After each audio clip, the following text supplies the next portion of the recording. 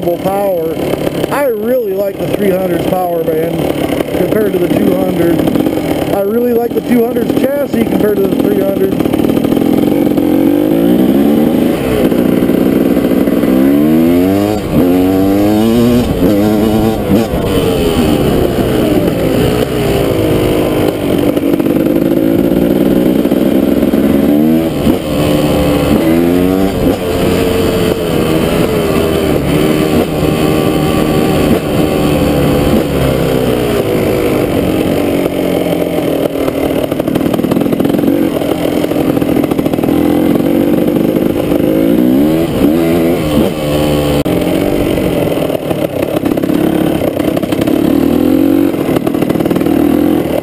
And the 200 just does not have that.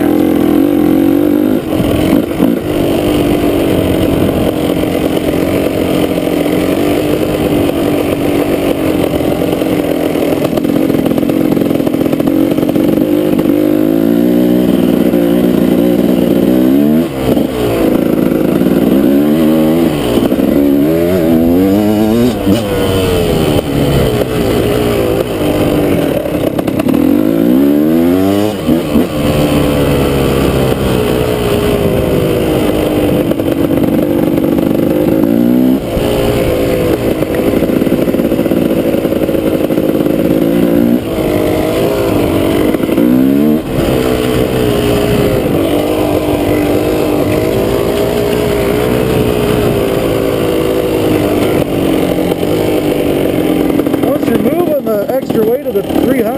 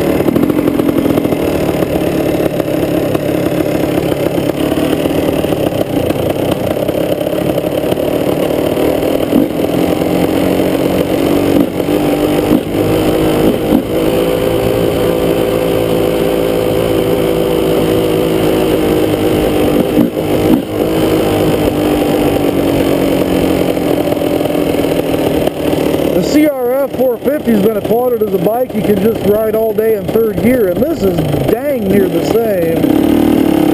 Uh, that's third gear right there.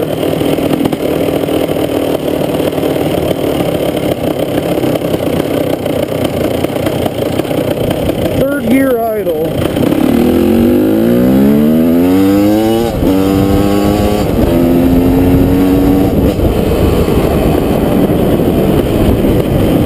Pretty dang incredible.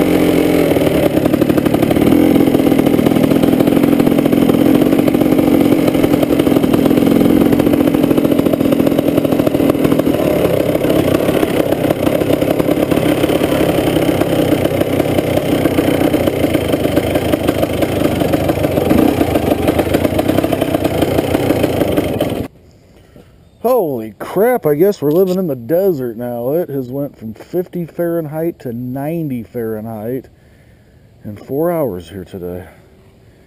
Unlike the desert, though, we got the dang high humidity. It was freezing this morning, just 10 degrees, 15 degrees above freezing, and now I got sweat running down my head. Crazy time of year.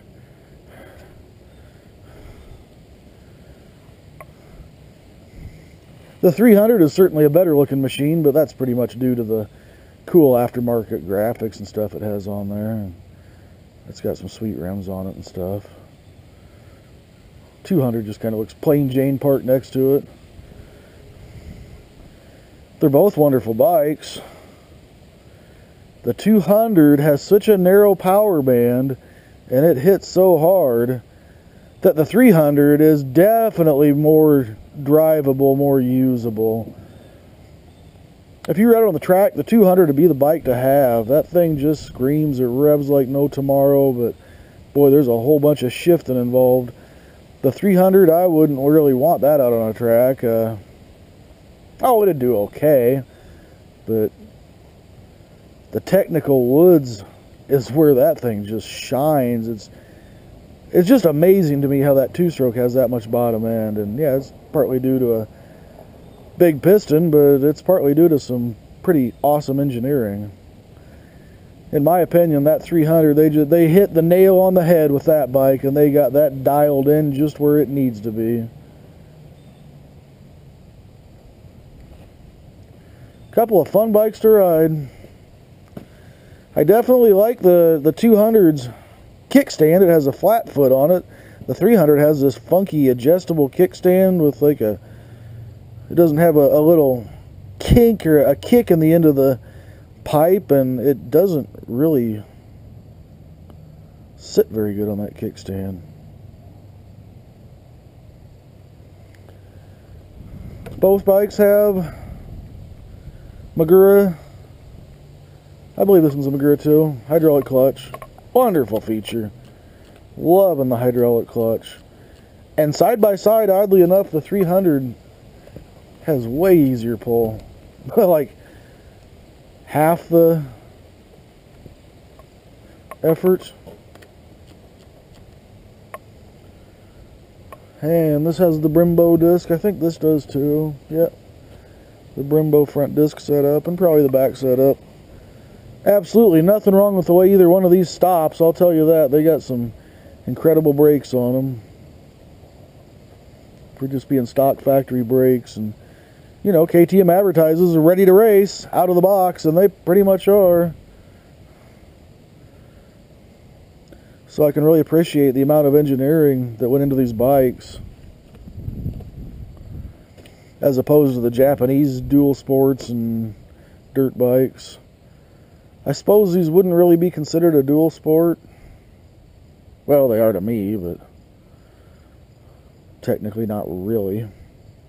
But yeah, that's how I'm going to use them as dual sport them. And due to space, time, money, etc., I'm probably only going to keep one of them. The 200 has the street legal papers. It already has a street legal title, which is a really cool feature. The 300 has, uh, I believe, enough off-road paper documentation that I can get a title. I have a pretty good paper trail on it. So I think what I'm going to do is keep the 300, try to get it street legal. It's going to be a whole bunch of fun to ride this around town and I anticipate getting pulled over a whole bunch, which is fine because I'm going to be street legal. I'm going to put the dual sport kit on it, have lights, and I don't know about blinkers, but brake lights, and it may or may not have a horn. It may or may not have a battery. Probably not.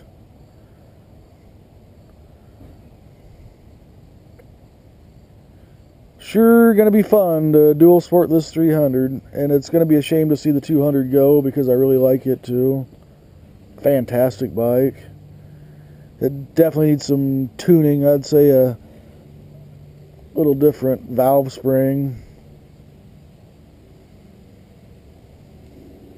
And I have no idea if these are mappable or not. I don't think these older ones are mappable.